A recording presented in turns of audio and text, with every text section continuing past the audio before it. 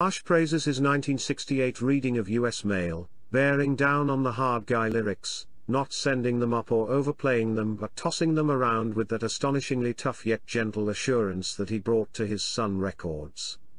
The performance on In the Ghetto is, according to Jorgensen, devoid of any of his characteristic vocal tricks or mannerisms, instead relying on the exceptional clarity and sensitivity of his voice.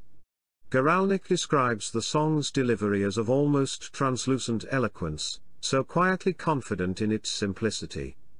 On Suspicious Minds, Guralnick hears essentially the same remarkable mixture of tenderness and poise, but supplemented with an expressive quality somewhere between stoicism and anguish.